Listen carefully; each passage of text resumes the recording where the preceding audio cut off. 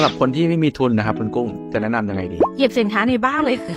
เออๆเวลาก็สอนคนอะ สินค้าใน TikTok ตอนเนี้ยก็ว่ามากกว่า 50%น่ะมีในทุกบ้านแล้วแม้กระทั่งยาสระผมมาเชื่อไหม Pantene basic พวกนี้มีหมดแล้วค่ะขนมเถ้าแก่น้อยน่ะมีแล้วนะคะเรากินแล้วเราอร่อยเราแปะตะกร้าได้แล้วนะคะแล้วก็มีอีกหลายอย่างมากเลยเช็คก่อนเลยค่ะในบ้านเราสำรวจเลยว่ามีอะไรลองไป search ดูซิมีตะกร้าไหมตะกร้าที่แบบคนรีวิวเยอะๆร้านใหญ่ๆอะไรอย่างเงี้ยเริ่มจากจุดนั้นค่ะง่ายสุดไม่ต้องลงทุน อุปกรณ์ไม่ใช่เรื่องปัญหาละเพราะว่ามือถือเครื่องเดียวก็ทำได้เนะเรื่องของสินค้าแล้วก็สารสินค้ารอบตัวในบ้านแทบทุกอย่างสามารถรีวิวได้ ที่เหลือก็เป็นเรื่องของการเล่าเรื่องอะไรต่างๆเนาะที่ไอ้กอะฝากวิธีคิดไว้นิดหนึ่งค่ะ วิธีคิดในการจะรีวิว หรือการจะทำช่องการจะขายสินค้าใน t ิ k t o k เนอะต้องฟังเรื่องของการตลาดยุคใหม่ ยุคนี้มันเป็นยุคที่คนไม่ได้ซื้อของตามพวกเน็ตไอดอลดาราแล้วคนเขาอยากจะซื้อของกับพวกคนทั่วไปคนธรรมดาที่รู้สึกว่าเอ้ยเป็นเพื่อนกันจับต้องได้รีวิวจริง ๆ ใช้เองจริง ๆฟีลประมาณเนี้ยค่ะวิธีคิดของกุ้งคือมาแชร์ของที่เราใช้แล้วมันดีเราดึงจุดเด่นว่าเฮ้ยมันดีตรงไหนเราก็มาแชร์ให้เพื่อนรู้เผื่อบางคนยังไม่รู้